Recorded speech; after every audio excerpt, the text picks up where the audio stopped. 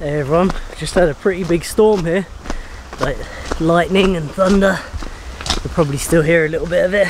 But uh, we've had quite a bit of rain come down in a very short period of time. So it's gonna do two things. It's gonna mean we're gonna have a lot of water, but it also means there's gonna be a lot of leaves and sticks and things because it's all come very quickly and, and uh, washed everything out. So uh, it's really gonna be a really good test for the intake. You see we've got quite a bit of water so yeah, I thought I'd just uh, run up there now. The hydro is on full and we'll see how it's dealing with the uh, sediment and leaves and things and sticks that are coming down. Right, let's go and have a look. Okay, so I haven't uh, haven't been up to it yet, just uh, approaching it now and it looks to be like it's working very well. So you can see there's a lot of leaf material and stuff flowing down. This isn't a lot of flow by the way, um, it's just a small amount really comparative to what we'll have in the winter but it's uh, quite a lot of flow for this time of year. So let's see how we're doing on the screen.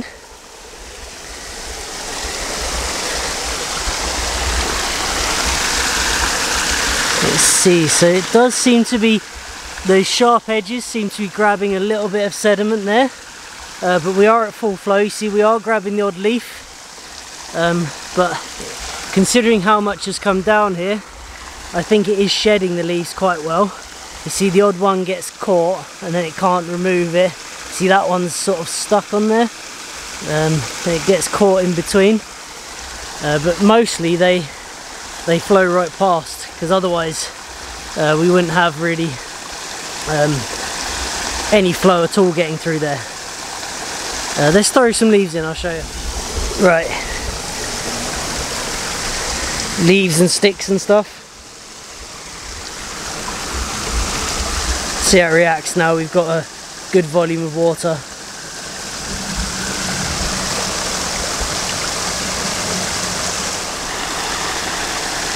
Let's see how it deals with this big clump. See how it sheds most of the material. Some gets caught no doubt. There's, you're never going to stop that I don't think. But you know it's shedding most of the material and a lot of the problems with the bolts and everything aren't really problems anymore now that we've got more flow. You know it is getting blocked. There are improvements to be made for sure.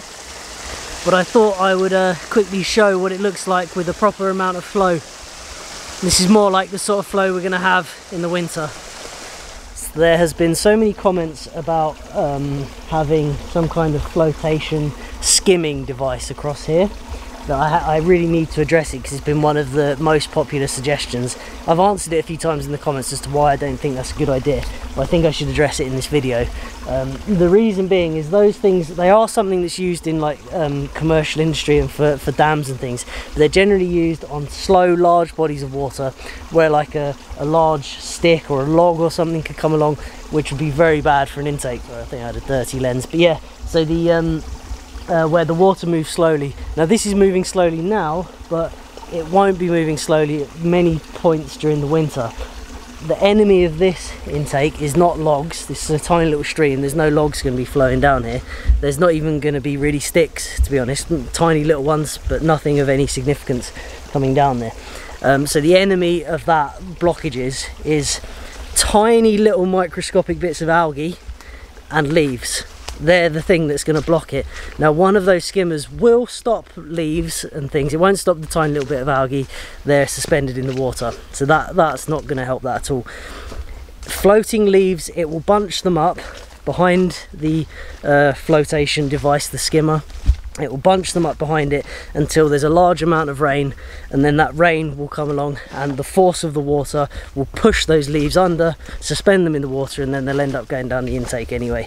So it's far better for something like this to shed those leaves and that material one leaf by one leaf you know as they come along design the intake so it sheds them properly as opposed to building them all up we get a load of rain the stream goes into flood and it pushes all that material down in once completely blocks the intake blocks the stream it blocks the dam water goes over the dam comes down the footpaths.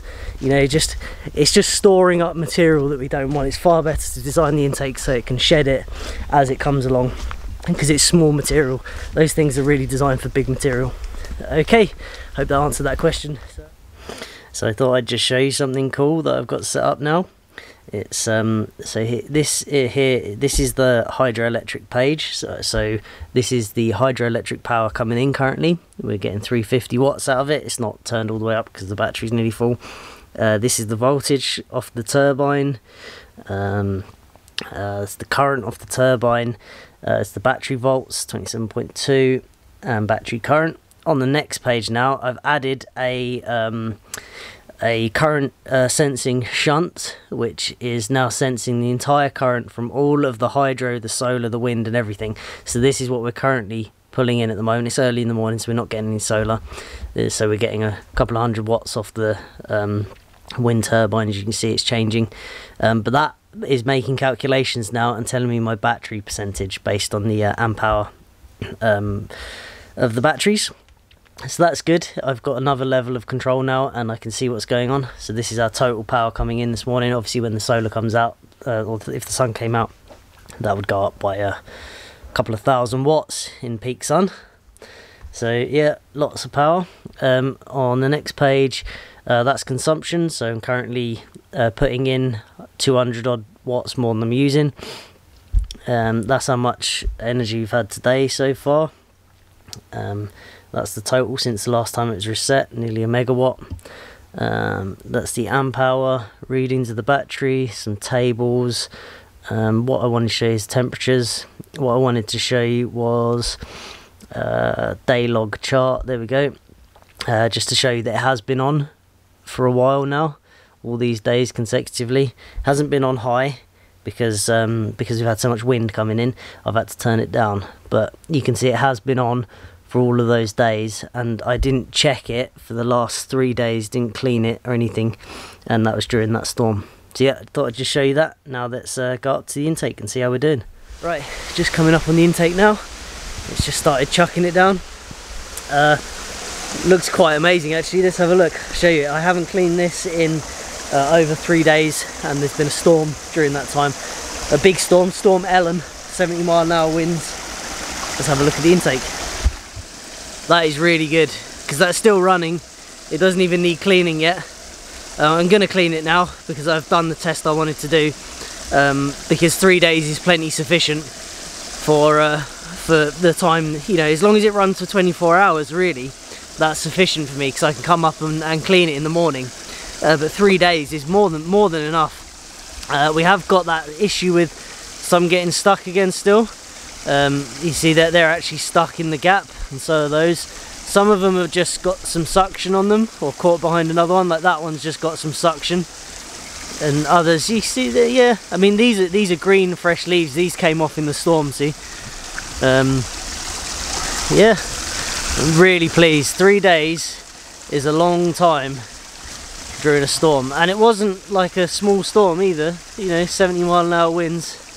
It's a serious storm I don't even need to go over the top cleaning this because we know that it will be fine. Just give it a little brush.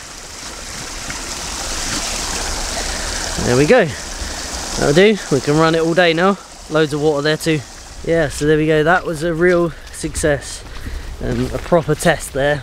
Those are quite normal flows for the winter and also we get quite a few name storms every winter. Um, and during storms like that that's when you want power you know? Um, everyone else's power is going out and I end up with more power than I can use during those times. So very very very fortunate to be in that position. But um, yeah intake's working great. Now it's definitely not perfect. Uh, Bjorn's experimenting with different designs for easier mounting where they interlock into each other and with some different plastics that are a bit more rigid and printing them as one whole panel as opposed to um, adjustable sides uh, sorry uh, sides that um, are separate with that are screwed. Um, and he's also um, what's he doing? He's also chain experimenting with the angles and stuff. So once he comes up with a design that he's happy with and he thinks it's worth sending to me for testing he's going to send it over to me. We'll fit them we'll have a go. But honestly that is 20 times better already than anything I've had here previously working. Uh, hundreds of times better than the first intake, the wooden box one. Um, and then it's probably 20 times better than the mesh because the mesh would block up in 24 hours and, and that was three days in a storm. And uh, and it wasn't even really showing signs of slowing down. It was fine. It was still flowing plenty of water. So yeah really pleased. Just going to the shed because I've got something else to show you. We had uh, these strong winds and I got a new peak output on the wind turbine okay so uh, just in the shed looking at the wind turbine so down in the bottom right corner is the current output of it. Obviously the wind's died down now so uh, it's not putting out a lot. But in the uh, bottom left corner you'll see it scroll through a few different things and watts peak that is WP 1255 watts. That is our new uh, peak output yeah so unfortunately the kilowatt hours on this reset all the time. Uh, every time it gets to a kilowatt hour for some reason but uh, the watts peak doesn't. But yeah we saw 1255 watts come off the wind turbine. You can see it's making quite good power even today even though the winds have died down. Yeah thought I'd just show you that quickly. So that is going to be it for this video. I haven't got a lot done this week other than uh, monitoring that well I have actually but nothing for video. Head gasket went on the tractor I had to sort that out. I had to do some repairs in the van. Um, we had the big storm. I had to go and collect materials and I've started the greenhouse foundation but you know I haven't got enough done on it yet for a video so that's all for this week. But we will have some cool videos coming soon because I got something exciting to show you about the um, the greenhouse foundation we uh, discovered a spring in the middle of it so it's quite cool.